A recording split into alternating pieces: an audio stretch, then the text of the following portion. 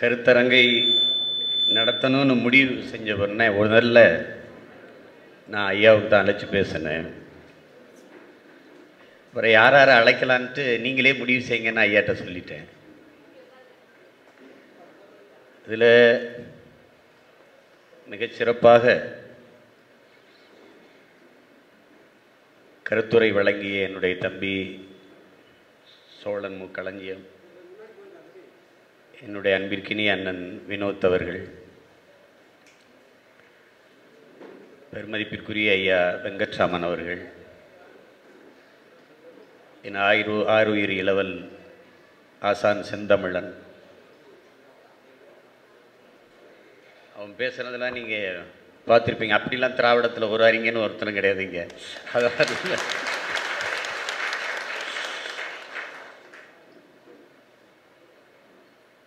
அவன் ஆசான் அல்ல அவன் பேராசான் அவன். அவன் வந்து ஏதோ பண்ணிட்டு அவர் ஞானி மாதிரி ஆயிட்டான். இன்னும் விட்டால் இன்னும் எவ்வளவு நேரம் வேணாலும் பேசுவான். அவ்வளோ ஆற்றல் அவன்கிட்ட இருக்குது. மிகச்சிறப்பான சொற்பொழிவை வியக்கத்தக்க சொற்பொழிவை நிகழ்த்திட்டான். அது மாதிரி தங்கை நாச்சியால் சுகந்தி.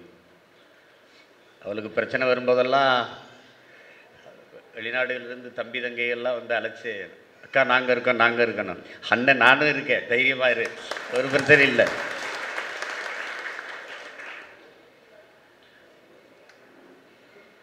அதுபோல் நம்முடைய மொழியியல் ஆய்வறிஞர் வரலாற்று பேரறிஞர் ஐயா தக்கார் மாசோ விக்டர் அவர்கள்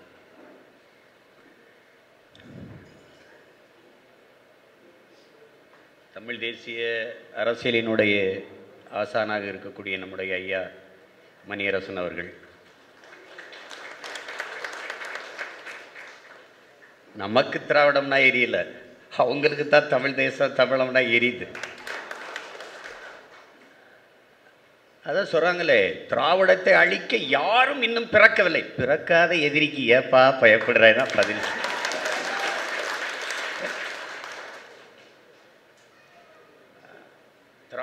திராவிடத்தின் நீட்சிதான். தமிழ் தேசியம். திராவிடத்துக்குள் அடக்கம்தான் தமிழ் தேசியம். திராவிடத்தினுடைய இது குழந்தைதான் தமிழ் தேசியம் நம்ம ஐயா மணியரசன் ஐயா அவர்கள். பாட்டிக்கு பேத்தி பிறந்திருக்கான்னு சொல்லு. பேத்திக்கு பாட்டி பிறந்திருக்கான்னு சொல்லாத நீ. ஒன்று சாம்பார்னு சொல்லு கருவாட்டு குழம்புன்னு சொல்லு. அது என்னையா? கருவாட்டு சாம்பார் என்னையா நீ? மானங்கடை தான் கேட்குறாங்க ஐயாவும். அவங்களுக்கும் அறிவு வந்ததாகவும் தெரியல ஒன்றும் சொரணை இருக்கதாகவும் தெரியல. திராவிடம் என்பது என் அன்பிற்குரியவர்கள் ஏன் இந்த கருத்தரங்கு அப்படின்னா நம்மை பின்பற்றி வருகிற பிள்ளைகளுக்கு ஒரு தெளிவு வரணும். அதுக்காக தான் இதை நடத்துகிறோம் ஐயா ஸ்டாலின் அவர்கள் வந்து ஐயா கலைஞரே இதை சொல்லலை. கருணாநிதி அவர்களே இதை சொல்லலை. அவர் வந்து நான் திராவிட இனம் சார்ந்தவன் திராவிடன் ஸ்டாக் இதெல்லாம் போடலைன்னு நம்ம அதை பேச போகிறதில்ல என் மொழியில் இருக்கிற இலக்கியத்தை அது வந்து திராவிட களஞ்சியம்னா வெறுப்பூர்மா வராது? எதுக்கு அது? அப்புறம் மறுபடி குழம்பிய குட்டைக்குள் மீன் பிடிக்க பார்க்கிறார்கள். நான் குட்டையில் மீன் பிடிக்க வரல. குட்டையை கைப்பற்ற வந்திருக்கேன். யார் குழப்புறது? குழப்புறது கால்டுவெல்லுக்கு பிறகு இருக்கிற இலக்கியங்களை எந்த மொழியில் எழுதப்பட்டிருக்கு? தமிழில். இப்போ தமிழ் இலக்கியம் தானே? எதுக்காவது பதில் இருக்கா? பதில் இருக்கா? உங்களை யார் சொல்ல சொல்லுது நான் திராவிட இனம்? நாங்கள் தமிழர்கள். எங்கள் மொழி தமிழ் எங்கள் இனம் தமிழர் எங்கள் தேசம் தமிழ் தேசம். அதில் நாங்கள் உறுதியாக இருக்கிறோம். அதுதான் என் தம்பி செந்தமிழன் கூட சொன்ன பாரு இந்த தலைப்பே அசிங்கமாக இருக்குது நம்ம தமிழராக திராவிடர் உலகத்துக்கே தெரியுமாடா நாங்கள் தமிழர்ன்ட்டு? இதில் இந்த திராவிடம் என்பது தமிழர் அல்லாதோர் வசதியாக வாழ்வதற்கும் ஆள்வதற்குமாக கொண்டு வரப்பட்ட ஒன்று. அது தவிர வேறு எதுவும் இல்லை.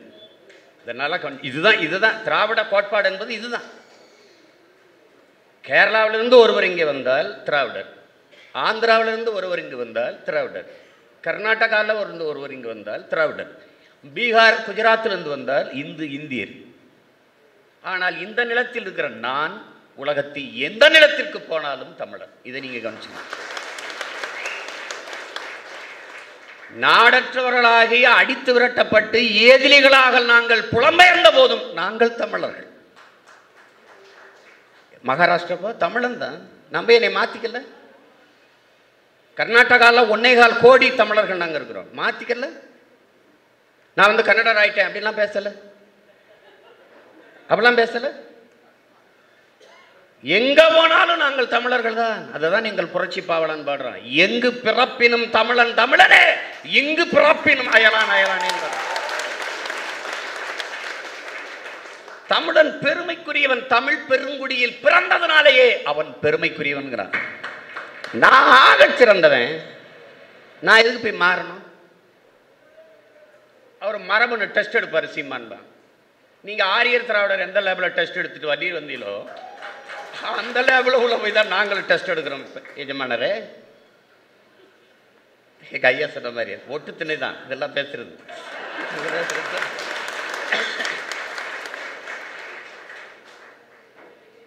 இவ்வளோ காலம் பேசினதுக்கு ஏதோ ஒரு வாரியத்தை கொடுத்துட்ருக்காங்க ஏதோ ஏதோ வச்சுக்கிட்டு ஏதோ புத்தக பாடநூல் நிறுவனத்தில் ஏதோ ஒரு வேலை. ஏன்னா பாருங்க. சென்னைக்கு வண்டியில் வரும்போது கருணாநிதி என் இனத்தின் தலைவன் வந்தவன் தான் என்னை உட்கார வச்சு மண்டையை கழுவி துரோகின்னு கற்றுக் கொடுத்தது அவர். என் கண்ணு முன்னாடியே என் இனச்சாவை சகித்து கொண்ட துரோகத்தை செய்த நான் அவரை துரோகிங்கிறப்ப அவர் தலைவர் இருக்கார் இதுதான் கொடுமை.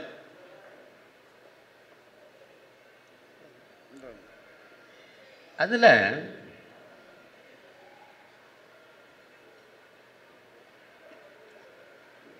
கேட்டா பாவானரை துணைக்கு இழுத்துட்டு எரிகிறதா? தமிழம் தான் திரமிழம் திராவிடம் திராவிடம் ஆயிடுச்சு திரிஞ்சிருச்சு. நான் திரிஞ்ச பாலையே பயன்படுத்துறது இல்லை சொல்ல எதுக்கு பயன்படுத்தணும்? அதான் தமிழம்னு இருக்குதே. அப்போ தமிழம்னே பயன்படுத்திட்டு போக வேண்டியதானே அப்புறம் திரிஞ்ச திராவிடம் ஏன்னா திராவிடம் என்பதே திரிவு தான் தேவையில்லாத நம்மளை வம்புக்கு இழுத்து விட்டு இப்போ அவங்க ஒரு கருத்தரங்கு நடத்துகிறாங்களாம் தமிழ் தேசியத்தின் எதிரியார் நடத்துகிற நீங்கள் தான்ப்பா ஏய் நடத்துகிற நீங்கள் தான்ப்பா எதிரிகள். எங்களுக்கு தெரியுது இந்தியம் திராவிடம் ரெண்டுமே எங்கள் தமிழ் தேசியத்தின் எதிரிகள்னு எங்களுக்கு தெரியுது. ஆரியம் வேறு இந்தியம் வேறு இல்லை. அதில் ஐயா முத்துராமலிங்க தேர் தெளிவாக சொல்கிறாங்க டேய் ஆரியன் திராவிடன்பெல்லாம் வெவ்வேறு இல்லைடா ரெண்டும் ஒன்று தான்டா அதில் இன்னொரு வார்த்தை சொல்றார் ஒரு நாள் கட்டி பிடிச்சு கைகுலுக்கி சங்கமிப்பார்கள். எப்படி சொல்கிறார் பாருங்க. பேரங்க நாங்க வந்து தமிழர்கள் கட்டி பிடிச்சு சங்கமிச்சிட்டான் இப்ப எந்த இடத்த பாரு? ஆர்எஸ்எஸ் பிஜேபி நம்மளை திட்டுவா? இவர் திராவிடர்களும் திட்டுவாங்க. நம்மளை ஆர்எஸ்எஸ் கைக்கூலிம்பான் ஏ எது எத்தனை பேருக்குடா நாங்கள் கைக்கூலியாக இருப்போம் அவன் கிறிஸ்துவ கைக்கூலிக்கிறான் இவன் இஸ்லாமிய கைக்கூலிங்கிறான். யாருக்கு கூலி வேலை செய்கிறது நாங்கள்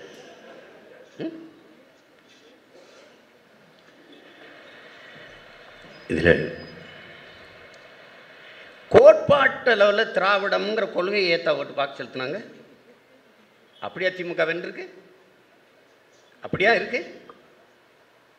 உங்கள் கருத்தியலுக்காக வாக்கு செலுத்தினார்களா? நீங்கள் கொடுத்த காசுக்காக வாக்கு செலுத்தினார்கள். உங்கள் கோட்பாடு ஆகச் சிறந்தது உங்கள் கருத்தியல் வலிமையானது என்றால் பிரசாந்த் கிஷோர் அதுக்கு புடுங்கிறதுக்கா? அவர்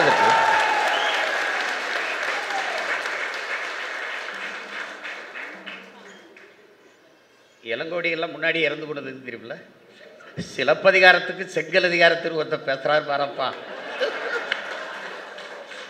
ஒரு செங்கலை வைத்து எங்களை செங்கோட்டைக்கு அனுப்பி விட்டாய் செங்கலை வச்சு ஆட்சியை பிடிச்சிருவோம்னா அப்புறம் அதுக்கு பிரசாந்த் கிஷோர் அதுக்கு பல நூறு கோடி அதுக்கு ஆயிரம் பேர் வேலைக்கு ஒவ்வொருத்தனுக்கும் ஒரு லட்சம் மாதம் சம்பளம். அதை அழைச்சி நாம் தமிழர் கட்சிக்காரன்ட்டையா பேசுறது. தலை நீங்கள் நீங்கள் செய்கிற சேவையை நாங்கள் உங்கள் தலைவர் ரொம்ப கவனிக்கிறார் உங்களை பாராட்டுறார். தலைவர் உங்களோட நேரடி தொடர்பில் நேரடி தொடர்பில் எப்படி இருப்பார்? நம்ம வயலு அம்மா நான் நாம் தமிழர் இருக்கேம்மா வைமா இப்படிலாம் வேலை செஞ்சு நூற்றி தொண்ணூறு இடம் வெல்லுவோம் நூற்றி எண்பது இடம் வெல்லுவோம். நூற்றி இருபத்தி நாலில் சுருண்டதுக்கு காரணம் நம்ம தான்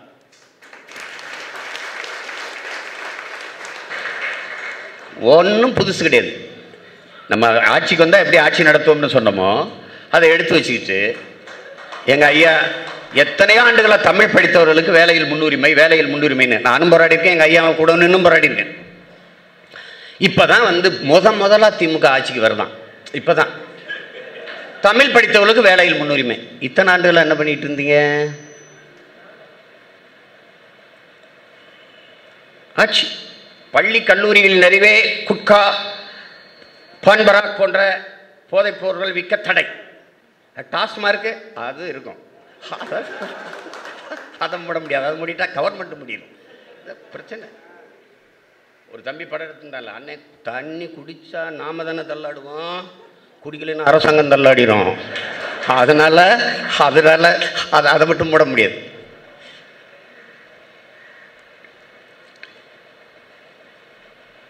ஒன்றை நீங்கள் ஆழமாக கவனிக்கணும் மொழி தமிழ் மீது இருந்த பச்சின் காரணமாக இந்தி எதிர்ப்பு வருது. அந்த போராட்டத்தை தன்மையப்படுத்தி கொண்டார்கள். தனவாக்கி கொண்டார்கள் இவர்கள். அதில் பற்றி எரிஞ்ச புரட்சி தீயை பயன்படுத்தி ஆட்சிக்கு அதிகாரத்துக்கு வந்த இவர்கள் ஒன்றை கவனிக்கிறார்கள் திராவிடர்கள் தமிழர் அல்லாத தலைமைகள். தமிழனுக்கு உயிர் உடலில் இல்லை அவன் மொழியில் இருக்கிறது என்று புரிந்து கொள்கிறார். பத்தாக்குறைக்கு நம்ம தாத்தன் வேற தமிழுக்கு அமுதென்று பேர் அந்த தமிழ் இன்பத்தமிழ் எங்கள் உயிருக்கு நேர்னு பாடினான் அது என் உயிரிடான்றான்.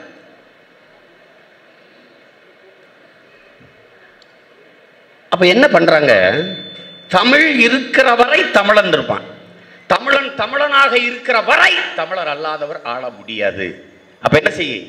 தமிழ் தமிழ்னு பேசிக்கிட்டே அழிச்சிருந்தான் எங்கும் தமிழ் எதிலும் தமிழ் வீழ்வது நாமாக இருந்தாலும் வாழ்வது தமிழாக இருக்கட்டும். வெற்று கூச்சல். ஒரு இடத்துல தமிழ் கிடையாது எங்கே இருக்கா? பயிற்று மொழியா இருக்கா? இல்லை பாடமொழியாவது இருக்கா? இவர்கள் தான் கொண்டு வந்தது. ஆங்கிலம் ஒரு பாடமொழியாக இருப்பதில் நமக்கு ஒரு பிரச்சனை இல்லையே. ஒரு பாடமாக படிக்கிறதுல நமக்கு ஒரு சிக்கல் இல்லை. ஆனால் எந்நாட்டு வரலாறை எந்நாட்டு புவியியலை என் எந்நாட்டு வேளாண்மையை என்னுடைய அறிவியலை எதற்காக நான் ஆங்கிலத்தில் படிக்கணும்? வேளாண்மை ஆங்கிலத்தில் படித்து ஆஸ்திரேலியா போய் கத்திரிக்காய் நட போகிறேன்னா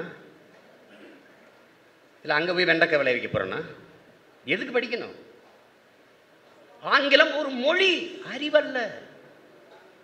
அமெரிக்காவில் பள்ளிக்கூடம் போகாதவன் கூட ஆங்கிலம் பேசுவான். அவன் தாய்மொழி இது படிக்காதவன் கூட பேசுவான். அதுக்கு எந்த முயற்சியாவது இருக்குதா? எங்கள் ஐயா மணியரசன் அவர்கள் சொன்னது மாதிரி கடைசியாக இருந்த அந்த அரசு பள்ளியில் தமிழ் படிக்கிற வாய்ப்பையும் அம்மையார் ஜெயலலிதா முடித்து விட்டு போயிட்டார் இது முத முதலாக கொண்டு வந்தது யார் தெரியுமில தமிழ் பயிற்று மொழியாக இருந்தது ஆங்கிலம் பயிற்று மொழியாக கொண்டு வந்தது.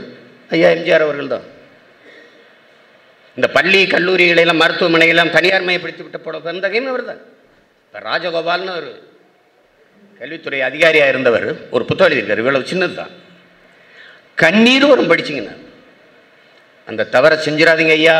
ஐயா தனியாருக்கு கொடுத்துறாதீங்க ஐயா. யார் முதல்வர்கிட்ட அந்த ப- கல்வியையும் மருத்துவத்தையும் தனியாற்ற கொடுத்துறாதீங்க கொடுத்துறாதீங்க கொடுத்துறாதீங்கன்னு பல முறை கெஞ்சுறார் கடைசி அவர் சொன்ன பதில் நம்மகிட்ட காசு இல்லை எப்படி? எட்டு இத்தனை கோடி மக்களால் நிறுவப்படுகிற அரசிடத்தில் இல்லாத காசு. தனி ஒரு முதலாளியிடம் எப்படி குவிந்தது? இது பதில் இல்லை.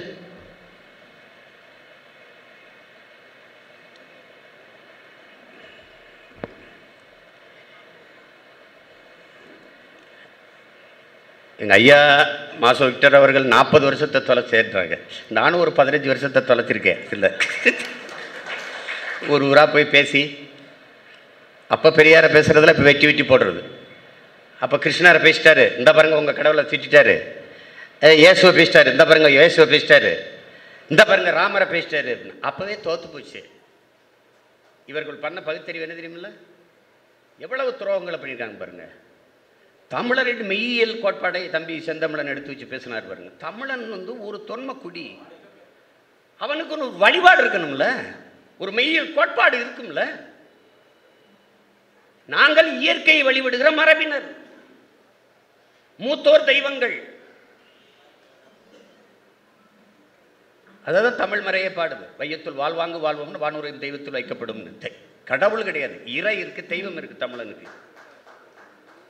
முறை செய்து காப்பாற்றும் மன்னவன் மக்களுக்கு இறை என்று வைக்கப்படும் என்று தமிழ் மறைபாடுது வள்ளுவ பெருமகனார் பாடுறார். அந்த கோட்பாட்டை தகர்த்து சாமி கும்பிடலாமா இதெல்லாம் அறிவுள்ள செய்கிற செய்யலாம் ஏ கோயிலுக்கு போகலாமா அது பகுத்தறிவா? பள்ளிக்கூடத்துக்கே போய் படிக்காதவனுக்கு உட்கார சொல்லு. கடவுள் இல்லை கடவுள் இல்லைன்னு சொல்ல சொல்லு. சொல்லிட்டு இருப்பான். அவன் பகுத்தறிவாதியா பகுத்தறிவுனா என்ன? ஆடிப்பட்டம் தேடி விதை என்ன? பகுத்தறிவது இல்லையா மாங்காய் காய்ச்சா மங்கும் புளியங்காய் காய்ச்சா பொங்கும்ட்டான். மாங்காய் காய்ச்சா மங்கும்னா மாம்பூக்கள் உதராமல் இருக்குதுன்னா மாங்காய் நிறையா காய்க்கும். அப்போ பருவக்காற்று பொய்யாயிருச்சு. பருவக்காற்று வீசலை. பருவக்காற்று வீசாத போது மழை பருவமழை பெய்யாது. அப்போ எப்படி சொல்கிறான் பாருங்க மாங்காய் காய்ச்சா மங்கும் புளியங்காய் காய்ச்சா பொங்கும் வேளாண்மைன்றான். அவன் அகல உழுவதை விட ஆழ உழுவது மேல் என்று பாடியவன் போதித்தவன் அவெல்லாம் பகுத்தறிவில்லையா? பட்டு அறிந்து உரைத்த அது பகுத்தறிவு இல்லையா அதெல்லாம்? இது இறை மறுப்பு கடவுள் மறுப்புன்னு தான் சொல்லியிருக்கணும். இதுதான் பகுத்தறிவுன்ட்டு என்னை என் வழிபாட்டிலிருந்து வெளியேற்றி சிவனை முருகனை மாயவனை கும்பிட்ட என்னை மூதாதைகள் கட்டிய வழிபா வழிபாட்டு தலங்களிலிருந்து என்னை வெளியேற்றி என்னை அறிவற்றவன் பகுத்தறிவற்றவன் மூடன் என்று வெளியேற்றிட்டு இந்த திருவாளத்தின் திராவிட திருவாளர்கள் செய்த சாதனை என்ன தெரியுமில்ல? புதகுழியை கும்பிட விட்டதுதான். கலைஞர் சமாதியில் கட்டடிச்சு பாடிட்டு இருக்கான பஜனை பண்ணிட்டு இருக்கானப்பா. எங்க இருந்து இருந்து தமிழ் பெருங்குடியை நகர்த்தி நகர்த்தி வந்து சமாதியில் மண்டியிட வைத்தவர்கள் தான் இந்த திராவிட திருவாளர்கள்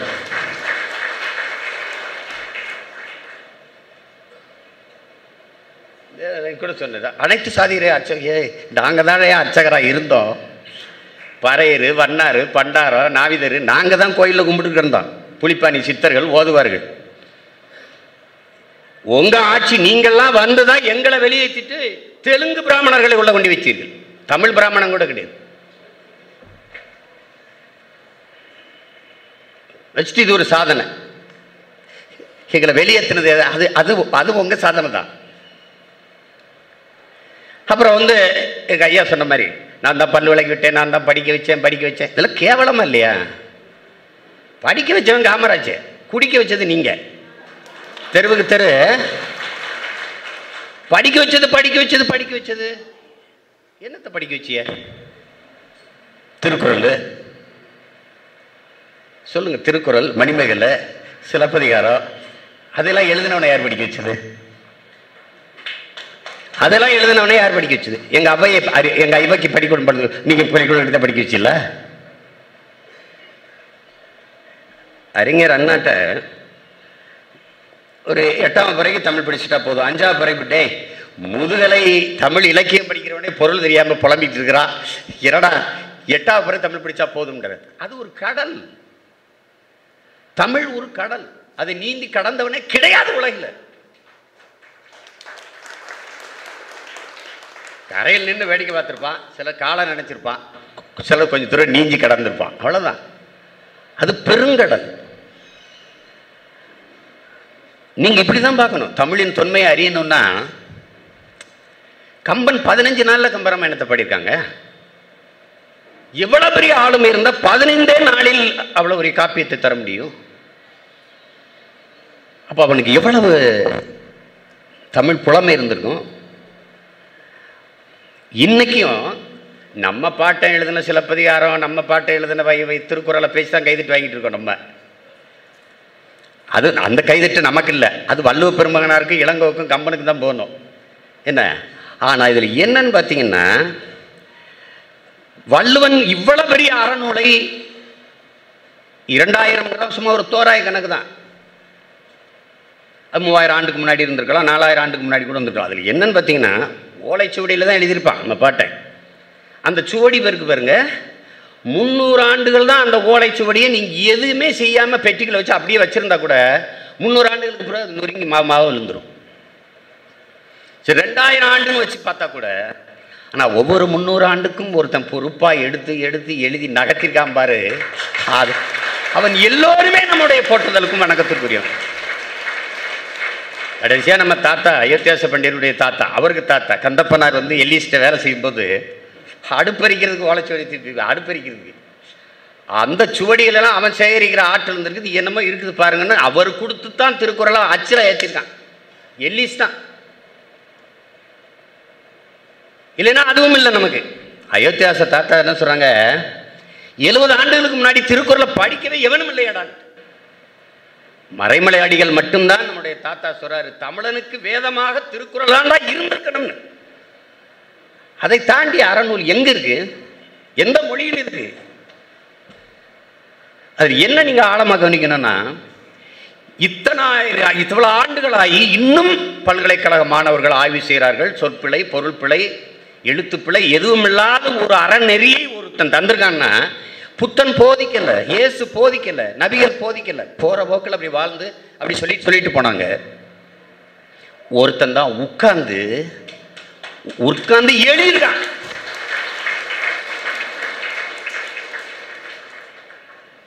நபிகள்லாம் வந்து அப்படியே மக்களுக்கு போதிச்சிடணும்னு போதிக்கல. வாழ்க்கையில் அப்படியே வாழ்ந்து போகும்போது சொல்லிட்டு போனதை போதிச்சு நமக்கு திருக்குறானா வருது பைபிளாக வருது இதெல்லாம் வருது. புத்தன் அதுவும் புத்தன் அதுவும் சொல்லலை. நம்ம பாட்டேன் ஒன்று ஒன்றையும் ஒரு தடவை சொன்னா போத போதாது அப்படின்னு அவனுக்கு தெரியுது பாரு.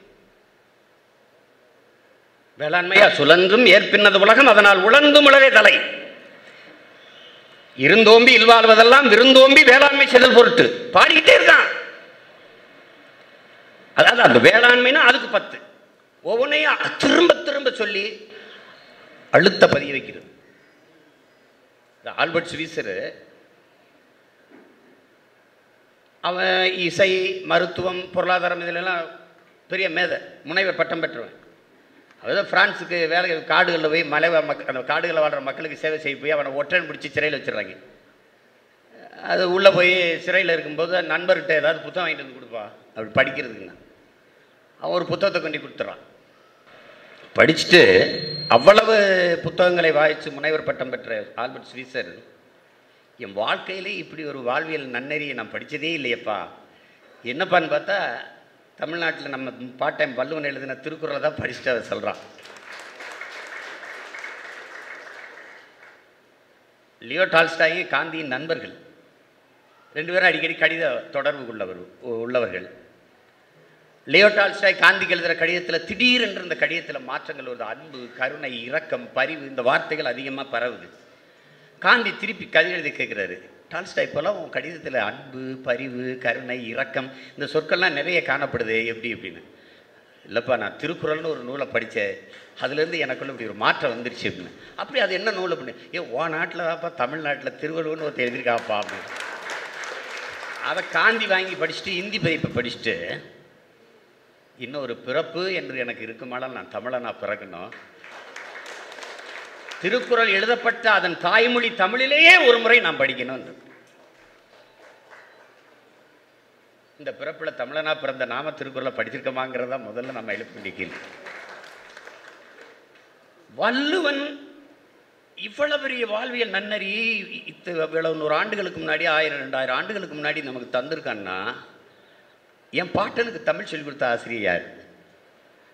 ஒரு செறிந்த ஒரு வாழ்வியல் இலக்கியத்தை வந்து ஒருத்தன் படைக்க முடியும்னா அவன் எவ்வளவு நாகரிகம் பெற்ற சமூகமாக இருக்கும் அதை தேடி போனீங்கன்னா தமிழர் தமிழின் தொன்மை உங்களுக்கு தெரிய வந்துடும் ஆற்றூர் ரவிவர்மாங்கிற ஒரு கவிஞர் கேரள கவிஞர் சீனர்கள் கிரேக்கர்களை தாண்டி தன் தாய்மொழியிலேயே ஆகப்பெரும் இலக்கியங்களை படிக்கிற வாய்ப்பை பெற்றவர்கள் இந்தியாவிலேயே தமிழர்கள் தான்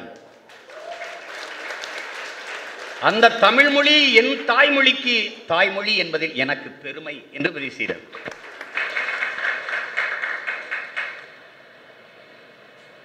மிகப்பெரிய இலக்கிய வளம் கொண்டது நமது மொழி. சாதாரணமாக வந்துட்டு நாங்கள் தான் படிக்க வச்சோம். இது வெறுப்பு வராதா? என்னத்தை படிக்க வச்சு? எங்கள் ஆத்தால போய் ஆடு மாடை விற்றுட்டு இப்போ பனைமரத்தை விற்றுவிட்டு மிளகா முட்டையை விற்றுவிட்டு படிக்க வச்சோம் சும்மா நாங்கள் படிக்க வச்சோம் படிக்க வச்சோம் படிக்க வச்சோம். நாங்களேனா சீமாரெலாம் அப்படிலாம் பேச முடியுமா அப்படின்னு? ஏய் நீங்களே இன்னும் நல்லா பேசியிருப்போம்ப்பா? எது? சொல் திராவிடர்கள் என்றாலே திருடர்கள் என்றுதான் பொருள்படும். அஞ்சு லட்சத்தி எழுபதனாயிரம் கோடி கடன். உங்களால தான் சாமி. உங்களால தான் அது எங்களுக்கு தெரியுது. எப்படி எப்படி கடன் ஒரு தடவை சொல்லுங்களேன். எந்தெந்த துறைகளில்? மின்சாரத்துறைக்கு ஒரு லட்சம் கோடி. உ- முதலீடு செய்யறதில்லை. வாங்குறதெல்லாம் ப்ரொடக்ஷனில் கிடையாது. பர்ச்சேஸில் தான். பர்ச்சேஸில் ஒரு ஒரு அழகு மின்சாரத்துக்கு ஒரு ரூபா திருவிழா கூட எடுத்தால் கூட பலாயிரம் கோடி ஓடியாந்துருது. ரெண்டாயிரம் கோடி மூவாயிரம் கோடி ஓடியாந்துருது. அதுக்காக பர்ச்சேஸில் தான். உற்பத்தியில் ஆ அதெல்லாம் நிரந்தர தீர்வாயிரும்ல. அப்புறம் இங்கிட்டு கமிஷன் அடிக்கிறது. எல்லாமே ஏமாற்று. திராவிடம் என்பது நம்மை எப்படியாவது ஆள வேண்டும் என்று துடிக்கும். தமிழ் தேசியம் என்பது மற்ற மொழிவெளி தேசிய இனங்களைப் போல எம்மினமும் உரிமை பெற்று பெருமையோடு வாழ வேண்டும் என்ற கனவு. திராவிடம்னா டிவைடிங் பிரிச்சால் இருக்கும் படையாச்சி பறையனை பிரிக்கணும். பல்லனை கல்லனை பிரிக்கணும். ஒன்றா இருக்க விடுறதில்ல. சண்டை அடிச்சுக்க. கன்னியாகுமரி பொரியா எங்க என்னடா பெரும்பான்மைய சாதி எதிரா நாடாரா?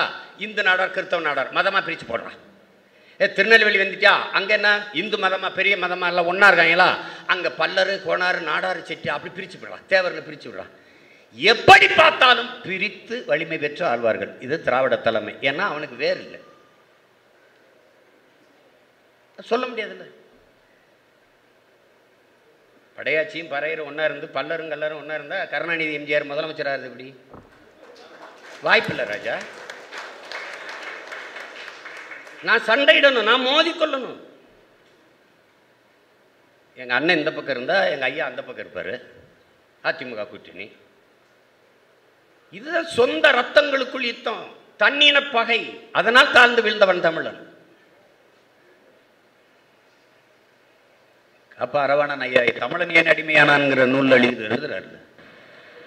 தொலைநோக்கின்மை போர்க்குணமின்மை தன்னிடத்தில் இருப்பதை விட பிறரிடத்தில் இருப்பது உயர்ந்தது என்கிற தாழ்வு மனப்பான்மை திரை கவர்ச்சி இதெல்லாம் காரணமா சொல்றாரு.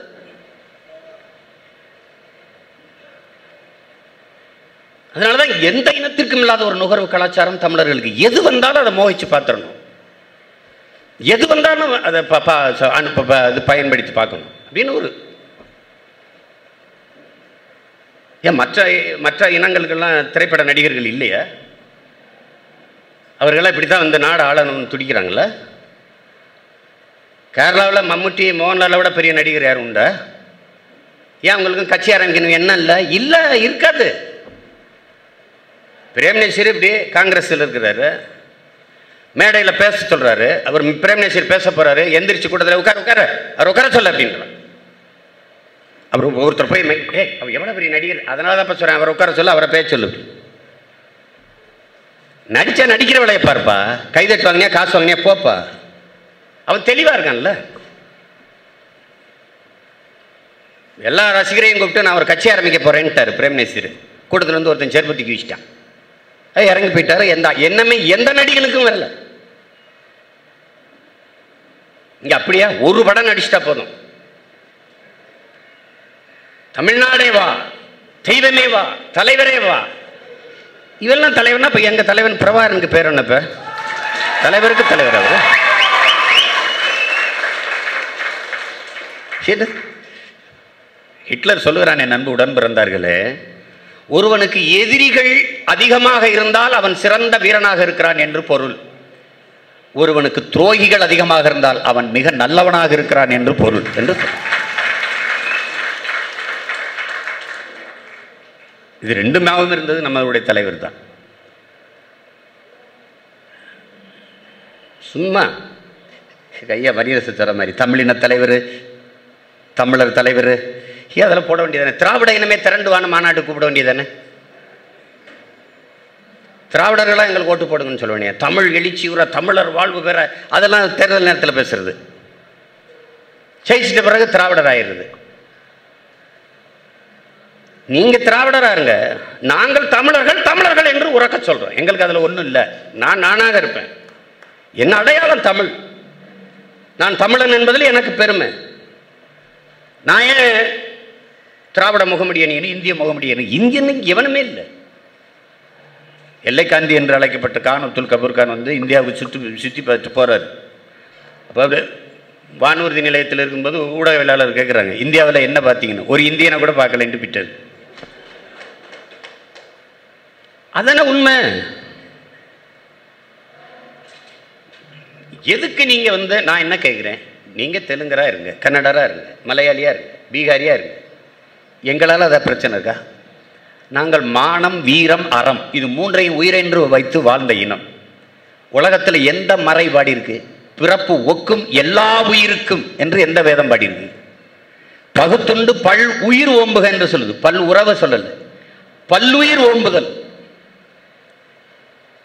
தமிழர்களைப் போல உயிர்மை நேயவாதிகள் உலகிலே வராத உண்டா? உலகில் யாராவது உண்டா? ஒரு இனம் சொல்லுங்க பார்ப்போம் எல்லாம் மானுடம் பேசினா நாங்கள் உயிர்மை நேயவாதிகள் வாடிய பயிரை கண்ட போதெல்லாம் வாடினேன் என்று எங்கள் மூதாதை வல்லலார் பெருமகன். காக்கை குருவி எங்கள் சாதி நீல் கடலும் மலையும் எங்கள் கூட்டம். பாரதி நாங்கள் உயிர்மை நேயர்கள். எல்லாரும் கல் மாவில் கோலம் போட்டுட்டு இருந்தான். நாங்கள் அரிசி மாவில் போட்டோம். எதற்காக? ஈக்கும் எறும்புக்கும் இறையா இருக்கணும்ன்ட்டு நாங்கள் போட்டோம். அது எங்கள் மாண்பு. வாசல் எல்லாரும் நாயை கட்டினோம் நாங்கள் திண்ணையை கட்டினோம். போவர் வரலாம் விருந்துண்டு ஓய்வெடுத்து செலுத்துன்ட்டு. சிவக சிந்தாமணியில் எங்கள் தாத்தா எழுதுறான் திருத்தக்க தேவன் சோறு வடித்த தண்ணி ஆறா ஓடிச்சுங்கிறான். சோறை வடித்து வச்சுட்டு புருஷன் பொண்டாட்டியும் வாசலில் நின்று போவார் வரவெல்லாம் எங்கள் வீட்டில் வந்து விருந்து சாப்பிட்டு போங்க. மல்லிகை பூ மாதிரி சமைச்சு வச்சுருக்கோம். வெறுங்கையோடு போகணும் பொண்ணும் மணியும் பட்ட அடைகளும் அள்ளித்தாரம் வாங்கிட்டு போங்கன்னு. அப்படி விருந்தோம்பலை கொண்ட ஒரு இனம். உலகம் தழுவி ஆறத்தழுவி நேசித்து நின்ற ஒரு இனம் வந்து உண்டென்றால் அது தமிழர்கள் நாங்கள் தான் என் இனத்தின் மாண்பு அதை நீ சிதைக்கிற. நாங்கள் தமிழ் தமிழர் என்று பேசும்போது ஆ எங்களுக்கு அச்சமாக இருக்கு. அவங்க வந்து அவங்களை அடித்து விரட்டணும் என்ன நீ எங்களை விரட்டும் போதோட கூட நாங்கள் ஒன்று அடிக்கலையே? ஆந்திர காட்டுக்குள்ளே செம்மரக்கட்டையை வெட்ட வந்தோம்னு சந்திரபாபு நாயுடு இருபது பேரை சுட்டு கொண்ட போது நாங்கள் என்ன இடையூறு செய்தோம் உங்களுக்கு. அழுதோம் கதறணும் அவ்வளோதான் காவிரி தண்ணி கேட்கிற போதெல்லாம் அடிச்சு சொந்த நாடு இந்திய நாடு சொந்த நாடுங்கிற ஏதிரிகளாக மூட்டை முடிச்சா எல்லா சொத்துக்களை விட்டு நடந்தே என்னுடைய சொந்தங்கள் வந்தது நீ பார்த்த. அப்ப நாங்க எதுவும் அடிச்சோமா? கொத்து கொத்தா என் இன மக்கள் கொன்றொழிக்கப்படும் போது எத்தனையோ சிங்களர்கள் இங்கே வியாபாரம் செய்து கொண்டிருந்தார்கள் பள்ளி கல்லூரியில் படித்துக் கொண்டிருந்தார்கள். எங்களுக்கு நாங்களே தீயிட்டு கொளுத்தி எந்த சத்தமே ஒழிய எங்கள் ஆத்திரத்தை எங்கள் கோபத்தை வெளிக்காட்ட அவர்களில் ஒரு- ஒருவரை கூட தாக்கி அளிக்கலையே? ஏன்? மாண்பு. தமிழர்கள் அறம் சார்ந்து வாழ்ந்த மறவர்கள். நீ இங்க வந்து அவர் தமிழர் ஆயிட்டாரு. நானூறு ஆண்டுகளாக தமிழர் ஆயிட்டாரு. அப்ப என்ன கேட்க தோணுது? ஒரு மாந்தோப்பு ஒரு மாந்தோப்பு ஆயிரம் மாமரங்கள் இருக்கு. அந்த மாங்கன்று வைக்கும் போதே வைக்கத்தான் பலா பலாமரம் ஒரு பலாக்கன்று ஆயிரம் மாமரத்துக்கு இடையில ஒரு பலாமரம் இருக்கு. இப்போ அது மா மாமரத்தோட சேர்ந்து வளருது ரொம்ப நாளாக அந்த தோப்பில் தான் இருக்குது. இப்போ அது மாமரமா பலாமரமா? எப்படி சொல்றது? ரொம்ப நாளா மாமரத்தோட இருக்குங்க. அதுவும் மாமரம் தாங்க. இப்படி பேசினா எப்படி இருக்கு? நீ ஏன் அவரை இனம் மாத்துறங்கிற? ஏன் அவரை இனம் மாத்துற? எதுக்கு நீ அச்சப்படுத்துற? அவர் கன்னடராகவே இருக்கட்டுமே. அவர் மலையாளியாவே இருக்கட்டுமே. நாங்கள் எங்கள் சகோதர இன மக்களாக நாங்கள் ஏற்கிறோம். எங்களுக்கு எங்கள் எங்களுடைய அரசியல் புரிதலை நீங்கள் புரிஞ்சுக்கணும். ஒரு தேசிய இனம் தன் தாய் நிலத்தில் தன் உரிமைக்காக ஒரு அரசியலை கட்டி எழுப்புகிற போது அதே நிலத்தில் வாழ்கிற மற்ற தேசிய இனங்களை பகை இனங்களாக வைத்துக்கொண்டு வெல்ல முடியாது. இதுக்கு சரித்திர சான்று எங்கள் தலைவர். முப்பத்தைந்து ஆண்டுகள் சண்டை செஞ்சிருக்காரு. ஒரு எளிய மகன் சாதாரண மகன் தன் குடிகளையே படையாக கட்டி சண்டை செஞ்சிருக்கார் தன் நாட்டு விடுதலைக்கு. ஆனால் ஒருபோதும் அவர் சிங்கள மக்களை பகையாளி எல்லாம் நினைக்கல. என் இனத்தை கொண்டொழிக்கிற சிங்கள ராணுவம் தான் தன் எதிரி என்ற கோட்பாடை கொண்டு சண்டை செஞ்சார். சிங்களர்கள் எங்க தலைவர் படையில் இல்லையா? பாதுகாப்பு படை பிரிவிலே இருந்தான். தலைவருக்கு பாதுகாப்பு படையிலே சிங்களன் நான் நாட்டில் நிற்கும்போது நமக்கு ஆதரவாக இருந்துட்டாருன்ட்டு கணவரை கொண்டுறாங்க ரெண்டு பெண் குழந்தைகளை கூட்டிகிட்டு அந்த தாய் நேரடியாக தலைவர்கிட்ட வந்து தலைவரை ஆதரித்து வச்சு நம்முடைய தொலைக்காட்சியில் வேலை கொடுத்து அவங்க செய்தி படிச்சுட்டு இருந்துச்சு. சிங்கள செய்தியை அந்த தங்கச்சி படிச்சுக்கிட்டு இருந்துச்சு. நான் போகும்போது வாசிச்சது. சும்மா எங்களை பழி போடுறது. நாங்கள் வந்து பிற இனங்களுக்கு எதிரி. அப்படிலாம் கிடையாது. அப்படிலாம் கிடையாது. தமிழ்நாடு அமைச்சரவையில் ஒன்பது அமைச்சர்களோ என்னவோ பிறமொழியாளர்கள் குறிப்பாக தெலுங்கு பேசக்கூடியவர்கள். நாற்பதற்கும் மேற்பட்ட சட்டமன்ற உறுப்பினர்கள். வேற எந்த மாநிலத்தில் அதை சொல்லு? இந்த ஜனநாயகத்தை தமிழர்களை தவிர வேற எங்கேயாவது காட்டு? எங்க ஐயா சொன்ன மாதிரி நாம் தமிழர் கட்சியில் எல்லாருக்கும் தான் இடம் கொடுக்குறோம். ஆனா நீங்க எங்களுக்கு என்ன கொடுத்துருக்கீங்க? எங்க வண்ணாருக்கு? எங்க முடிதிருத்துற செலவை எங்கள் எங்க மருத்துவருக்கு எங்க குயவர்களுக்கு? எங்க ஆ- இதெல்லாம் எங்க ஆதி குடிகள். எங்களுக்கு இதுவரை இதுவரை கொடுத்துருக்கீங்களா? ஆனால் வாய்கிளிய சமூக நீதி. எங்கே இருக்கு உங்க இது? அநீதி. ஒரு பொது தொகுதியில நீ ஆதி தமிழ் குடியை நிறுத்தினது உண்டா? உன் வரலாறு சொல்லு திராவிட இயக்கம் வரலாறு.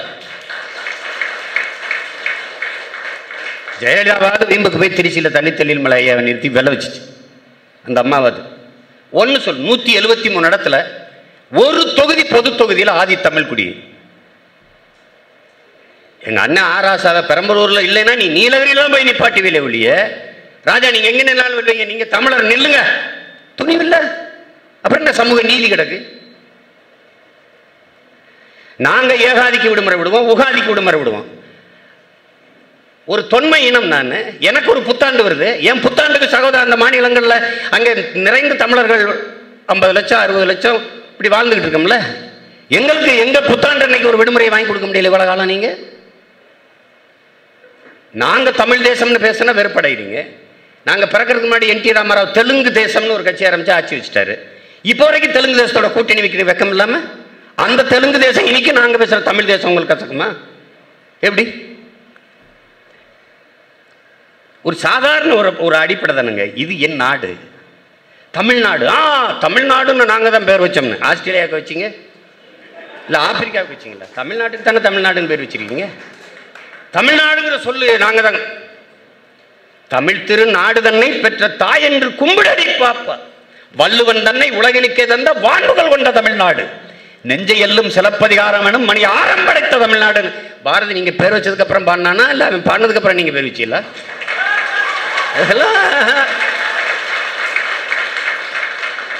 என்ன என்னத்தையாவது பேசுறது? அதுக்கு ஒரு கருத்து உருவாக்கத்தை உருவாக்கிட்டு அங்கிட்டுங்கிட்டு இருந்து கத்துறது ஒத்த ஒத்தையா குரல் விழுத்து. ஆ திராவிட பெரியார் ஏய் திராவிட கோட்பாடு எதுங்கிறதுக்கு? நாங்கள் பெரியார் இருக்குது அதெல்லாம் பேசாதப்பா. திரும்ப திரும்ப பதிவு செய்கிறோம் சாதி ஒழிப்பு தீண்டாமை ஒழிப்பு தமிழ் தேசியம்னா சாதி வந்துடும் ஏ நீங்கள் தான் ஒழிச்சிட்டீல அப்புறம் சாதி இருக்க? அப்போ இவ்வளோ காலம் ஒழிக்காமல் என்ன பண்ணிட்டு இருந்தீங்க? தமிழ் தேசியம்னா சாதி வருது அப்படின்னா அப்போ சாதி இருக்கு. அப்போ இவ்வளோ காலம் நாங்கள் சாதி ஒழிக்க போராடணுங்கிறது புழுகு ஃப்ராடு அப்போ அதானே? ஒன்றை நீங்கள் தெரிந்து கொள்ளுங்கள் பெருமக்களே. ஒருவன் தமிழன் என்ற உணர்வை எப்போது பெறுவான்? சாதி மத உணர்ச்சி என்றைக்கு அவனுக்கு சாகுதோ? அன்றுதான் தமிழன் என்கிற இன உணர்வு பிறக்கும் நான் சாதி தமிழன் மத தமிழனாக இருந்தால் ஆக முடியாது. என் சாதி மீது அடிவிழாத வரை எனக்கு வலிக்காது. என் மதத்தின் மீது அடிவிழாத வரை எனக்கு வலிக்காது. ஆனால் எங்களுக்கு வலிக்குது என் இனத்தின் மீது எங்க அடி விழுந்தாலும் எங்களுக்கு வலிக்குது. காரணம் நாங்கள் தமிழர்கள்.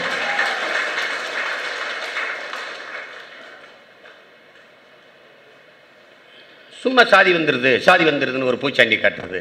தமிழ் தேசியமே அது சாதியவாதம் தான் அப்படிங்கிறது. சாதி கேட்பாங்க கேட்போம். என்ன குடிப்பான்னு கேட்குறோம். கேட்டு தான் சீட்டு கொடுக்குறோம். பொது தொகுதியில் பதினாறு இடங்களில் ஆதி தமிழ் குடியெல்லாம் நாங்கள் நிறுத்தினோம். போன முறை இருபது தொகுதியெல்லாம் நிறுத்தினோம். இருபது தொகுதியை நிறுத்தினோம். இந்த வாட்டி பதினாறாக குறைஞ்சது காரணம் நாங்கள் சலவை தொழில் செய்கிற நம்ம உறவுகளுக்கு குயவருக்கு முடிதிருத்துற மருத்துவ குலத்திற்கு எல்லாருக்கும் வாய்ப்பு கொடுத்தோம். தேடி தேடி கொடுத்தோம். அப்போ அவனை கேட்கணும்ல நீ இதுவரை நமக்கு இதுவரை எவனுமே நமக்கு சீட்டு கொடுக்கல. நில்றா. ஒரு தம்பியெல்லாம் நிறுத்தும்போது ஒரு வீடு தானே நம்ம வீடு இருக்குன்னு. நில்றா போட்டா போடுறான் போடலாம் போகிறான் போடா.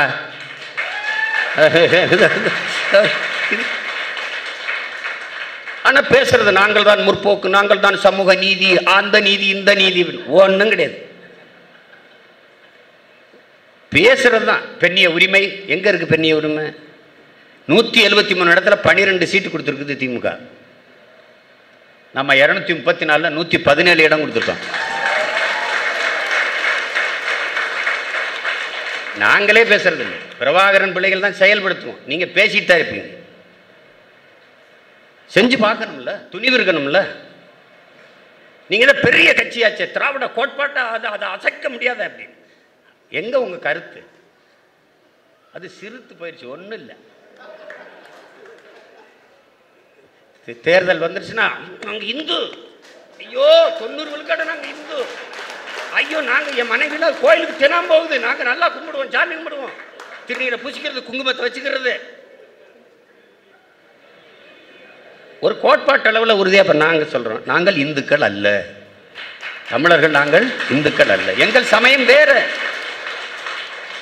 என் தம்பி சொல்லி சொல்லிட்டு இல்லை செந்தமிழன். எங்கள் சமயம் வேறு எங்கள் வழிபாடு வேறு. எங்கள் மெய்ய கோட்பாடே வேறு. சார் வில்லியம் ஜோன்ஸ் போட்ட கையெழுத்தில் போயிட்டு நான் மதம் மாறிட்டு இருக்க முடியாது. இது என்னுடைய எ- என்னுடைய வர என்னுடைய மீட்சி என்பது வேற நாங்க வேற. விற்றுப்பா. அறுபத்தி மூணு நாயன்மாரும் பனிரெண்டு ஆழ்வாரும் என் மூதாதைகள் தான். அவன் வட இந்தியெல்லாம் கிடையாது? அவன் சமஸ்கிருதத்தில் ஒன்றும் பாடலையே. சொல்லுங்க. எடுத்துக்கிட்ட வெறுங்கையோட வந்து என்னுடைய இறையை தன்மையப்படுத்தி கொண்டாய். உனக்கு ஏது கடவுள்? உனக்கு ஏது சாமி? உனக்கு ஏது? என்னுடைய முருகனை சுப்பிரமணிய சாமி ஆக்குனேன் ஷூ எடுத்துட்டா பிராமணிய சாமி ஆயிரும் அது. என்னுடைய சிவனை கைலாயநாதர் ஆக்குனேன் சிவா அப்படின்னு ஏதோ ஏதோ போட்டுக்கிட்டேன் ஏ என்னத்தையோ ஒன்று பண்ணுறா சரி கும்பிட்டு போ. விட்டாச்சு கும்பிட்டு போ.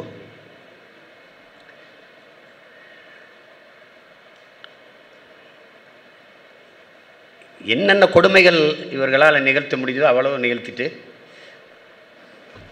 கேட்டால் திராவிடம் ஒரு கோட்பாடு இருக்கிற மாதிரி கட்டமைக்க நமக்காகத்தான். சும்மா சீண்டி விடுறது. நம்ம பாட்டுக்கு போயிட்டு இருந்தோம்.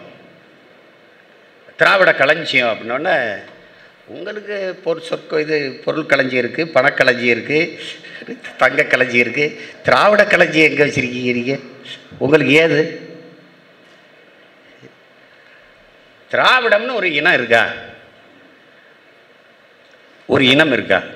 கால்டு வல்லது எங்கள் ஐயா சொல்கிறார் மனுசுவிலிருந்து எடுத்தே அந்த சொல்லைன்ட்டு. அதை விட வேண்டியதானே அதை பிடிச்சிக்கிட்டு எங்களை வந்து திராவிட இனம். அது மரபு இனம் எல்லாரும் மொழி வழி தானே தேசிய இனம் இருக்குது நாங்கள் மட்டும் ஏன் மரபு இனமாக மாறணும்? திராவிடம்ங்கிறது ஒரு மரபினம். அது ஏன்டா நாங்கள் மட்டும் மரபினமாக இருக்கணும்? ஏன் இருக்கணும்? அது மட்டும் நாங்கள் மட்டும் ஏன் இருக்கணும்?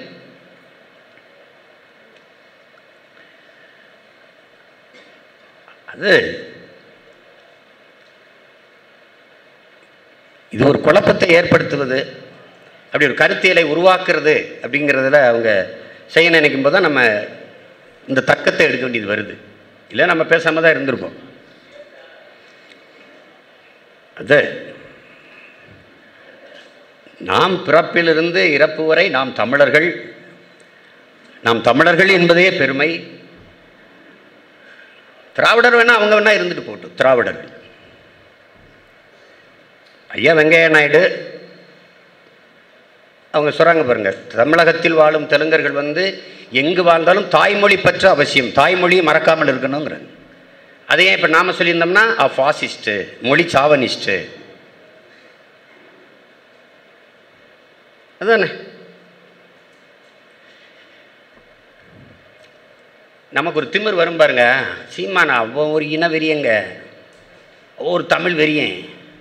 அப்போ நமக்கு ஒரு திமிர் ஏறும் பாரு நல்ல தமிழ் தாய்க்கும் தமிழ் தகப்பனுக்கும் நம்ம பிறந்திருக்க விடா அதெல்லாம் உறுதி செய்கிறாங்க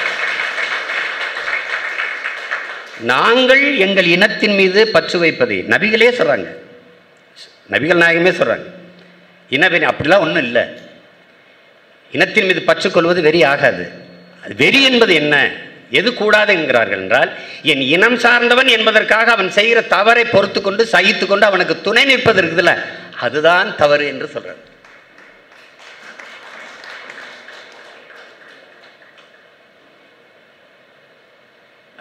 நம்முடைய அண்ணன் பழனிபாபா அவர்கள் தமிழர்கள் இனப்பற்று கொள்ளக்கூடாது. மாறாக இன வெறி கொள்ள வேண்டும் என்று சொல்றார். அது இல்லை என்றால் நீங்கள் எப்போதும் ஆளப்படுவீர்களே ஒழிய. ஒருபோதும் ஆள மாட்டீர்கள் அதான் நடந்துட்டு பிறகு அவரே சொல்றார் சாதி மதங்களாக நாம் பிளந்து விரிந்து நிற்கிற போது வலிமை இழப்போம். அச்சப்படுத்துவார்கள் பாதுகாப்பற்று இருப்போம். ஆனால் மொழி இனமாக ஒருங்கிணைந்து இருந்தால் நாம் வலிமை பெறுவோம் பாதுகாப்பாக வாழ்வோம் என்று சொல்றார். அவர் அனுபவத்தில் உணர்ந்த உண்மை. அதுதான் இப்போ இருக்கிற நிகழ்கால உண்மையும் அதுதான். நம்முடைய தலைவர் ஒரு கொடி ஒரு கொள்கையின் கீழ் தமிழர்கள் ஒன்றிணைய வேண்டிய அவசியம் உருவாகிவிட்டது என்று சொல்றார்.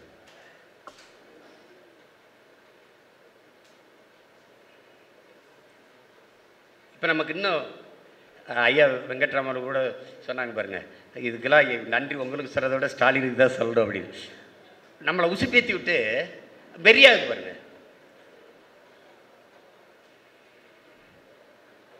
அதனால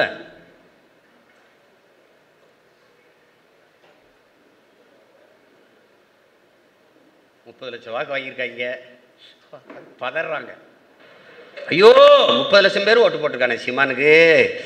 ஏ ஐம்பது ஆண்டுகள் அந்த திட்டுப்பிள்ளைகளுக்கே ஓட்ட போட்டு நாட்டு நாசமாகியிருக்கான் அதெல்லாம் பேசுறது இல்ல திமுகவுக்கு விளம்பரம் போட்டிருக்கான் அதிமுகவுக்கு போட்டிருக்கான் பிஜேபிக்கு போட்டிருக்கான். அதெல்லாம் சீமானுக்கு போட்டப்பா முப்பது லட்சம் பேர் போட்டிருக்கான். முப்பது லட்சம் பேர். அதை தான் சொன்னேன் அன்னைக்கு நேர்காணலில் கூட. ஒரு தம்பி எழுதியிருக்கான். ரொம்ப கஷ்டமாக இருக்கு. பக்ரீத்துக்கு முந்நூறுரூவா சேர்த்து வச்சுருக்க. அதை அனுப்புகிற கஷ்டம் வாங்கி குடிச்சு செத்து போறீங்களா? அப்படின்னு கேட்டு ரொம்ப கஷ்டமாக இருக்கு அவங்களுக்கு அப்படின்னு. நாங்கள் எங்களுக்கு இன்னும் எங்கள் மக்கள் பத்து லட்சம் வாக்கு கூட கொடுத்துருக்கணும்னு நினைக்கிறோம். அதுவே குறைவுன்னு நினைக்கிறோம். எங்கள் உழைப்புக்கு. சரி இவ்வளவு பணமழை இவ்வளவு இது இத்தனை கட்சி கூட்டணி இதோடலாம் தாண்டி ஒரு முப்பது லட்சம் பேர் மான தமிழ் மக்கள் நம்மளை தேடி வாக்கு சேர்த்து காப்பார்.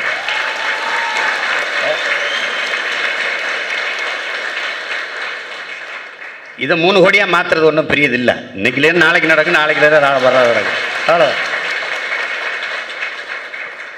தேர்தல் வந்துருச்சுன்னா யாரை பிடிக்கிறது? எந்த கட்சியோட கூட்டணி போகிறது எந்த கவலையும் எங்களுக்கு கிடையாது.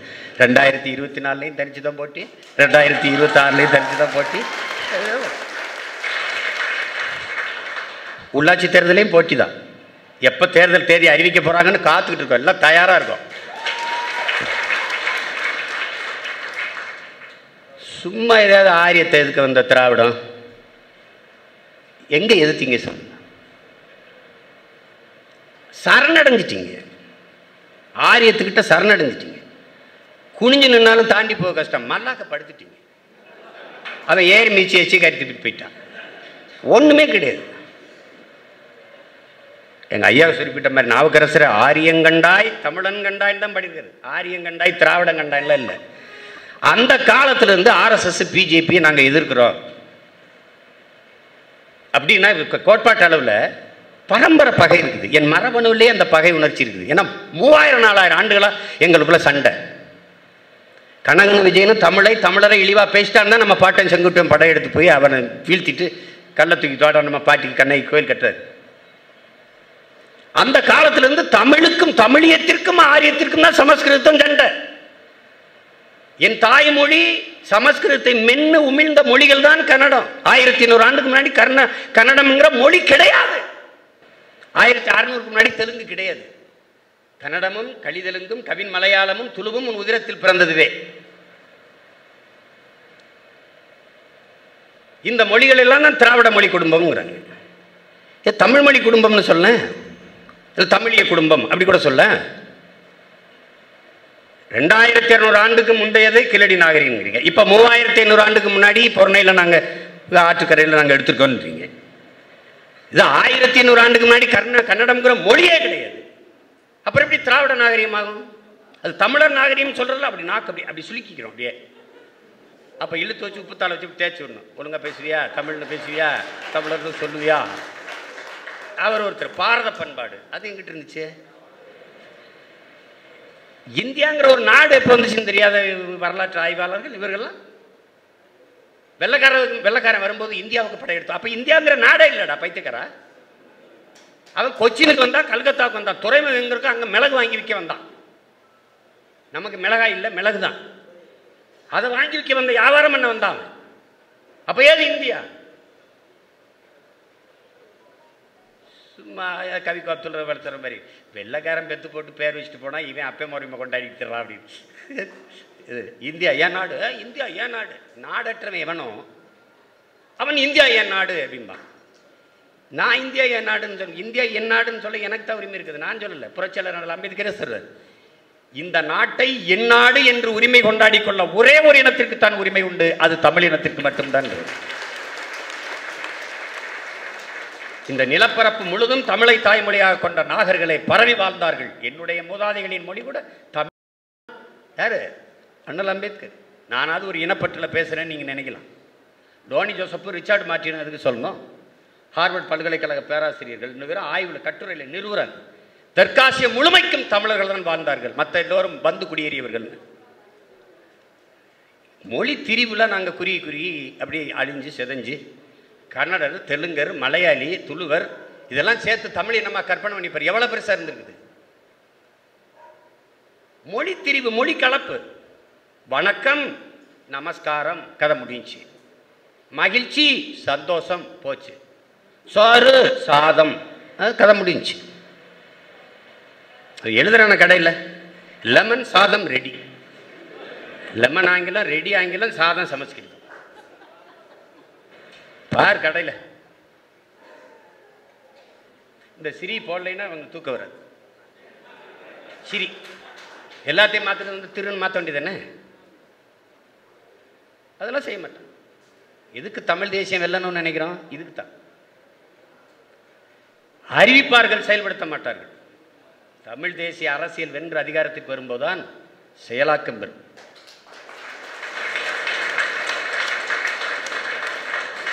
ஆங்கிலம் படி எதுக்கு? வெளிநாட்டில் வேலை. கிளம்பு இருந்தால் புடி பாஸ்போர்ட் விசா போயிட்டே இரு. தமிழ் படி தமிழ்நாட்டில் வேலை. ஏதாவது ஒன்று சுயமாக இருக்க? நீ பாரு. பனைமரம்னு என்னைக்காவது திமுக பேசியிருக்கா? இப்போ திடீர்னு பனைமரத்தை நாங்கள் பனை தொழில்களை நாங்கள் வேளாண்மைக்கு முன்னுரிமை வேளாண்மைக்கு முன்னுரிமை கொடுப்பாங்க. வேளாண்மைக்கென்று தனியாக ஒரு நிதிநிலை அறிக்கை. ரொம்ப நாளாக சொல்லிக்கிட்டு இருந்தது எங்கள் ஐயா தான் மருத்துவர் ஐயா. அதுக்கப்புறம் நாம. இப்போ சரி நிதிநிலை அறிக்கை. தனியாக பட்ஜெட் போட்டு என்ன பண்ணுறது ராஜா? அங்கே நிலத்தில் இறங்கி வேலை பார்க்க ஆள் இல்லையே. நீ நூறு நாள் வேலை திட்டம் ஒரு கேடு கட்ட வேலை திட்டத்தை வச்சிருக்கீல்ல. அதை பேசணும் அது ரொம்ப நல்ல திட்டம். கிராமங்களில் இருக்கிறவர்களுக்கு நல்ல வேலை வாய்ப்பு கிடைக்குது. அதே உழைப்பை மனித ஆற்றலை உழைப்பில் ஈடுபடுத்தி உற்பத்தியை பெருக்கி லாபத்தை ஈட்டுகிற நாடு எதுவோ அந்த நாடு தான் வளரும் வாழும் முன்னேறும். நீ உழைப்பையிலிருந்து மக்களை வெளியேற்றி சோம்பி இருக்க வைக்கிறதுக்கு காசு கொடுத்து வைக்கிறதுக்கு பேர் என்ன? நான் என்ன சொல்கிறேன் அந்த உழைப்பை நீங்கள் உங்கள் ஆற்றலை உழைப்பில் ஈடுபடுத்துங்க. போய் வேலை செய்யுங்க. நிலத்தில் வேலை செய்யுங்க. அந்த வேளாண்குடி மகன் உங்களுக்கு முந்நூறுரூவா கொடுக்குறாரு. அந்த பத்தலையா? அரசு உங்களுக்கு இந்தாங்க. கூட நூறுரூவா அந்த நூறு நாள் வேலை திட்டத்தில் கொடுக்குற அந்த காசை சேர்த்து வேளாண்மை செய்யவே ஆள் இல்லை விளைநிலத்தை விட்டு மக்கள் வெளியேறிட்ட பிறகு அப்புறம் வேளாண்மைக்கு தனி பட்ஜெட் போட்டு என்ன பண்ணுறது அதனால தான் வெற்றறிக்கைங்கிறோம் நாங்கள் அதை. ஒரு ஆக்கப்பூர்வமான ஒரு தலைவர்கள் இப்படி இப்படிலாம் சிந்திச்சா எப்படி நாட்டை வழிநடத்தி கொண்டு போகிறது யோசிச்சுப்பார்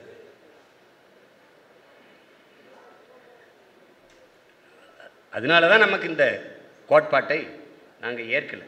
ஒரு காலத்தில் நாங்கள் அது அதான் இருந்தது. எங்கள் ஐயா சொல்கிற மாதிரி நீங்கள் தமிழ் நீங்கள் தமிழர்ன்றீங்க ஏதோ இருக்கிறீங்கன்னு. எனக்கு எனக்கு நான் சொல்கிறேன் நான் என் தலைவனை சந்திக்கிறதுக்கு முன்னாடி இருந்த சீமான் வேற அவனுடைய அரசியல் நிலைப்பாடு வேற என் தலைவரை சந்தித்த பிறகு என்னுடைய நிலைப்பாடு என் இனச்சாவு எங்களுக்கு ஆழமாக உணர்த்தி விட்டது ஆழமாக உணர்த்தி விட்டது இவர்கள் நமக்கானவர்கள் அல்ல. இந்த கட்சிகள் என் மொழியை என் கலாச்சாரத்தை என் பண்பாட்டை என் வாழ்வியல் நெறியை மெய்யல் கோட்பாடை என் நிலத்தை வளத்தை மக்களின் நலத்தை காக்கும் என்று நாங்கள் நம்பிக்கொண்டு இருந்தோம். ஏமாற்றப்பட்டோம். ஏமாற்றும் ஒரு அற்ப பதவிக்காக என் இனச்சாவை சகித்து கொண்டு இருந்து விட்டார்கள் அந்த நேரத்தில் வந்த கோபமும் கொந்தளிப்பும் உணர்வு எழுச்சியும் தான் இவர்களை நம்பி இனி பயனில்லை. திராவிடர் என்பது நம் அடையாளம் அல்ல. சாதி மதங்கள் நம் அடையாளம் அல்ல. நாம் தமிழர் என்பதுதான் நம்முடைய பெருமைக்குரிய அடையாளம் என்கிற உணர்வு அந்த புரிதல் அந்த தெளிவு எங்களுக்கு வந்த பிறகுதான் இந்த பயணத்தை தொடங்கும் என் மூச்சு காற்றை நீங்கள் சுவாசிப்பதனால் நான் உயிர் வாழ முடியாது. என் உணவை நீங்கள் உண்டு நான் பசியாற முடியாது. அதனால் என்னுடைய உரிமையை நானே போராடி பெறுவது என்ற முடிவெடுத்து அந்த உணர்வோடு நாங்கள் எல்லாம் ஒன்றிணைந்து இன்னைக்கு பெரும்படையாக மாறி நிற்கிறோம். இதுக்கு முன்னாடி நம்ம அரசியலை முன்வைத்தவர்களெல்லாம் சில பகுதி கட்சி தொகுதி கட்சிகளாக இருந்து ரெண்டு மூணு சீட்டுகளுக்காக திராவிட கட்சிகளை அண்டி போய் சிதைந்து விட்டார்கள். அந்த வரலாற்று பெரும் படிப்பினை தான் எத்தனை முறை தோற்றாலும் சரி தனித்தே நின்று களத்தில் நாம் போராடுவது. ஜவஹர்லால் நேரு அவர்கள் என்றாவது ஒரு நாள் தோக்கப் போகிற ஒரு கோட்பாட்டை ஏற்று அதன் வெற்றிக்காக இன்று நான் போராடுவதை விட என்றாவது ஒரு நாள் வெல்லப்போகிற ஒரு கோட்பாட்டை ஏற்று அதற்காக நான் போராடி தோற்றுப்போவதையே மேன்மையாக கருதுகிறேன் என்று சொன்னார். அப்படிதான் நம்ம இந்த வேலையை செய்கிறோம் இருக்கட்டும். அவர்கள் மனச்சான்றோடு பேசிட்டோம் திராவிடம் என்கிற கருத்தியலுக்காக அவங்களுக்கு வாக்கு செலுத்துறாங்க. ஒன்றரை கோடி தொண்டர்களை வச்சிருக்கேன்றீங்க. அப்புறம் கூட்டத்துக்கு காசு கொடுத்து ஆள் குட்டி வரிய சொல்லுங்க. பேச்சு. சட்டசபையில் அவன் தம்பி உதயநிதியை கூச்சப்படுற அளவுக்கு புகழ்றான். எம்ஜிஆருக்கு அப்புறம் அவருக்கு தான் கூட்டம் வருது. காசு கொடுத்தா வரத்தாங்க செய்யும். இதெல்லாம் எப்படி எப்படி இவங்க இவர்கள்லாம் வந்து அதிமுகவை சொன்னவர்கள். அடிமை கட்சி. அவங்களாவது பிரதமருக்கு அடிமையாக இருந்தாங்க. நீங்கள் யாருக்கு அடிமையாக இருக்கீங்கன்னு பாருங்கள் கொடுமை. ஒரு அமைச்சர்லாம் போயிட்டாரு. மறந்துட்டார் ஒரு க- அவர் உதயநிதியை கும்பிடுறதுக்கு. திருப்பி ஓடியாந்து சுயமரியாதை சுடர்கள் தன்மான திலகங்கள் கர்மம். என்னவோ ஒன்று நம்ம தான் தமிழ் தேசியத்தை திராவிட கட்சியிலே வழி நடத்துது. நாம் வந்த பிறகு இப்போ துண்டு மாலையெல்லாம் தவிர்த்துட்டு புத்தகம் கொடுங்க. நாங்கள் தொடக்கத்தில் தான் அதனை செஞ்சுக்கிட்டு இருக்கோம்.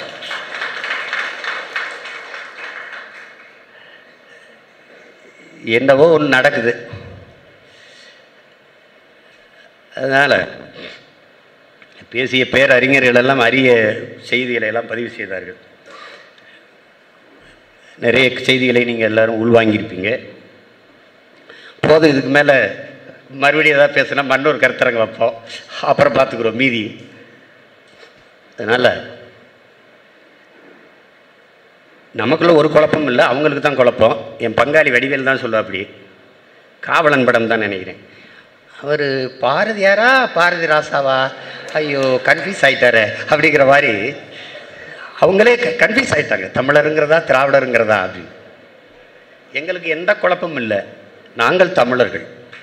எங்கள் மொழி தமிழ் எங்கள் இனம் தமிழினம் எங்கள் தேசம் தமிழ்நாடு. நாடு தமிழ்நாடு நாடு தமிழ்நாடு தேசம் தமிழ் தேசம். இங்கு வாழுகிற மக்களின் மொழி கலை இலக்கியம் பண்பாடு வேளாண்மை அந்த நிலத்தின் வளம் நீர்வளம் காட்டு வளம் கனிம வளம் கடல் வளம் மலை வளம் இவற்றை காப்பது கல்வி அனைவருக்கும் கல்வி கல்விக்கேற்ற வேலை. சரியான மருத்துவம் தரமான சாலை தடையற்ற மின்சாரம் பொருளாதார வளர்ச்சி தொழில் மேம்பாடு வளர்ச்சி இதையெல்லாம் செய்வதற்கு ஒரு அரசியல் இருக்கு. அது தமிழ் தேச அரசியல் தமிழ் தேச அரசியல் அவ்வளவுதானே? ஏ இருக்கிறத நாங்க இருக்குங்கிற நீ இல்லாத நீ ஆரிய மாயைன்னு அண்ணா எழுதின போது திராவிட மாயை. ரெண்டு மாயை தான் எங்களுக்கு இனிமையாவது கொஞ்சம் திராவிட கிராவிடம் பேசுறதை விட்டுட்டு இல்லை நீங்க திராவிடம்னே பேசுங்க தமிழர்னு சொல்லாதீங்க. அது சொல்றது இல்லையே மாநாட்டுக்கோ கூட்டத்துக்கோ அழைக்கும் போது திராவிடர்களை திரண்டு வாருங்கள் அப்படிலாம் கூப்பிடுறது இல்லையே நீங்கள் வாக்கு கேட்கும்போது நான் திராவிட இனம் சார்ந்தவன் அப்படின்னு ஒரு தடவை சொல்லி பாருங்கள் எவ்வளோ போட்டிருப்பான பாருங்கள் ஓட்டு. சும்மா அதில் ஒரு ஏமாற்று. அதை அறிவார்ந்த தமிழ் சமூகத்தின் பிள்ளைகள் புரிந்து கொண்டு குழப்பமின்றி நாம் நம்முடைய பயணத்தை தொடர்வோம். நமக்கு வழிகாட்டியாக பேராசானாக நம்முடைய ஐயா மணியரசன் அவர்கள் இருக்கிறார்கள்.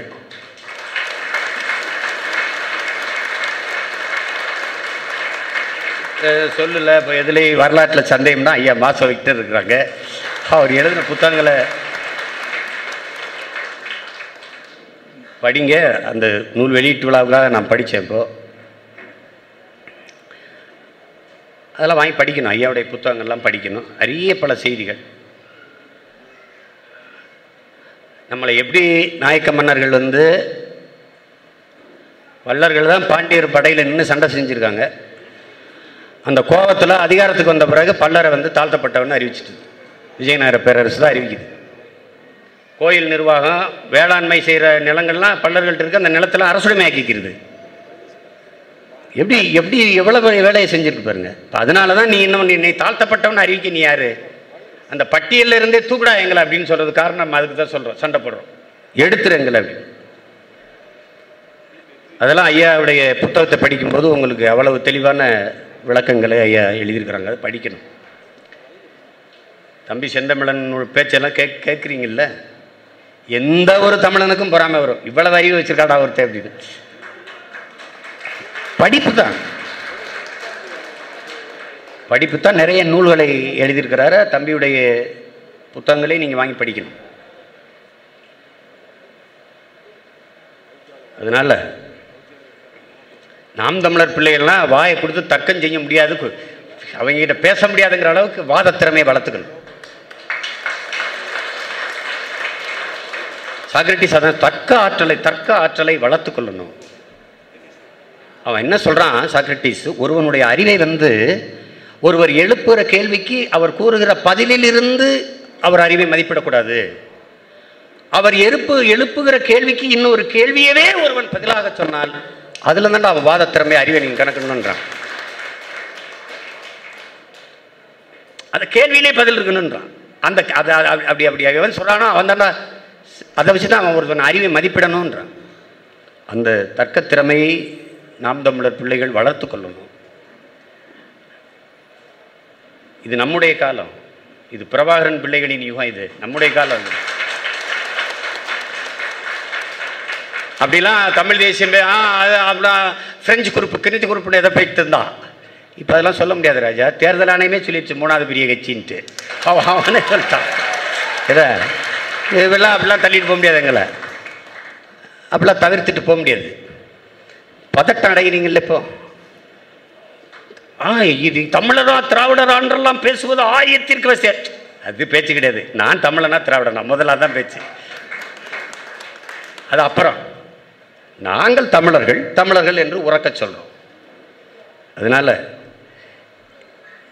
இவ்வளவு நேரம் வந்து இந்த அரங்கை நிறைத்து இந்த கருத்தரங்கை சிறப்பித்த உங்கள் அனைவருக்கும் என்னுடைய நன்றி பாராட்டுக்கள்.